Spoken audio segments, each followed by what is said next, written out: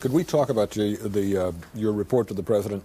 You said before you left that one of the things you wanted to find out was how the Allies felt about lifting the trade restrictions that were imposed uh, after the Soviets moved into Afghanistan. The Soviets yes, have now moved out. The, there's, there's, a great deal of pressure from the Allies to lift these trade restrictions. The no exceptions rule. That's right. Mm -hmm. What did they tell you about those restrictions? Well, interestingly enough, I expected to hear uh, from uh, each and every one of them about how important it was to uh, to uh, lift the no exception rule, and I only heard it from uh, at most three countries, and I really think probably only two and then uh, sort of in passing. So it did not appear to be uh, quite as big well, an does issue. That mean, does that mean the U.S. is not about to lift these trade restrictions? No, no, no. What it means is, is that I'm in a position now to report this to the President. He will make the decision in due course, and uh, I wouldn't want to prejudge what well, what decision, you seem to be saying is that, that, there wasn't a great deal of great deal of concern. What I'm saying is there was not as much concern as uh, as uh, there had been media speculation before we left. That's all I'm saying.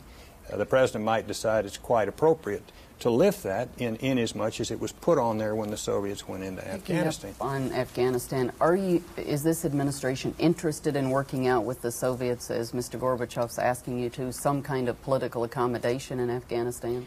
I think that the, this administration is interested in self-determination for the Afghan people. That's why we've been interested in Afghanistan as long as we have.